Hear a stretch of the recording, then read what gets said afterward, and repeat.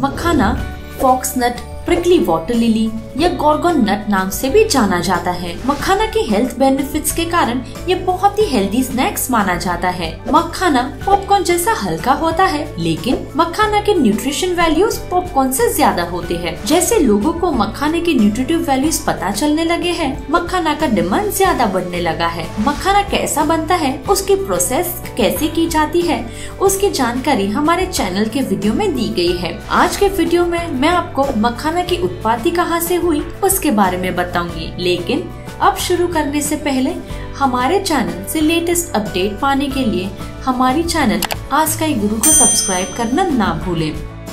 आर्कियोबोटानी एक फ़ील्ड है जो प्लांट रिमेन्स को स्टडी करते हैं। इस रिसर्च स्टडी के अनुसार यूरियल फेरोक्स के लीव्स नियोलिथिक पीरियड में सबसे ज़्यादा कलेक्ट किए जाने वाले वाइल्ड फ़ूड थे। यूरियल फेरोक्स का सबसे पहले रिकॉर्ड किया गया उपयोग seven lakh fifty thousand years पुराना है। उसके बाद चाइनीज़ लोगों ने यूरियल फिरोक्स प्लांट को काफ़ी सदियों तक उगाया है, जिस कारण मखाना एंशियंट टाइम में एशिया में बहुत ही पुराना फ़ूड रहा है। चाइनीज़ और आयुर्वेदिक मेडिसिन में मखाना का बहुत ज़्यादा इम्पोर्टेंस है। जैसे लोगों को मखाना के हेल्थ बेनिफिट्स के बारे में पता चलने लगा, वैसे ही इनकी उत्पत्ति बढ़ने लगी। मखाना पाने के लिए पहले यूरियल फिरोक्स के पत्तों को ग्रो करना पड़ता है और ये प्लांट ग्रो करने के लिए ऐसा लोकेशन चाहिए जहाँ क्लाइमेट हॉट ड्राई समर्स और कोल्ड विंटर्स जैसा वेदर हो। इसीलिए ईयर 1990 से भारत के बाहर क्षेत्र में यूरियल फेरोक्स का कल्टीवेशन शुरू हुआ। मखाना खाने के बहुत फ़ायदे हैं जिस कारण आज के वक्त में